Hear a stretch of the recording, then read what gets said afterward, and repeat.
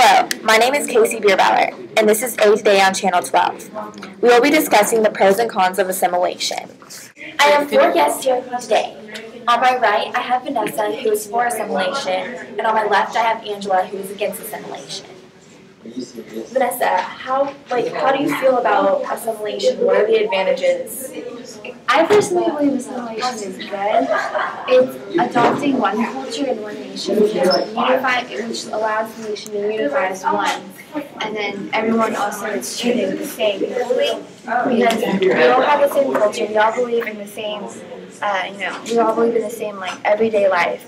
And so that is why I think assimilation is good for a nation unified. Well, she does have a point. According to American Progress, the longer immigrants are here, the more advanced and better they are integrated into our society. This is Angela here, and she is not for assimilation. What are some of the disadvantages of assimilation? Even though I agree that new cultures is a good thing, but personally, I think that when immigrants come into a new land, they should have a diverse diversity and their own culture so that other people will have fun experiencing new cultures with other people. Thank you, Angela and Vanessa. Now I have two more guests that are going to be discussing this topic with us. I have on my right, Noel, and on my left, Sunny. Noel, you're for assimilation along with Vanessa. Yes. What are the disadvantages of multiculturalism? Well, I mean, some disadvantages are there are way too many different jobs because all the different cultures kind of clash, and then people won't get along, and then it could just start different types of things. There are too many different areas of cultures and stuff.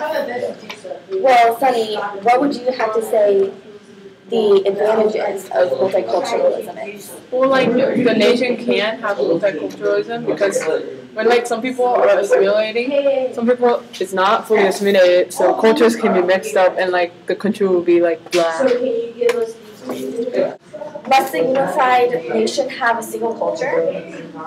I would say yes because you know there are different nations that have different cultures, and if you're going to be in one nation, you need to respect their culture. And while I do think bringing other cultures is you know like a good idea, you need to like know where you are and respect that culture.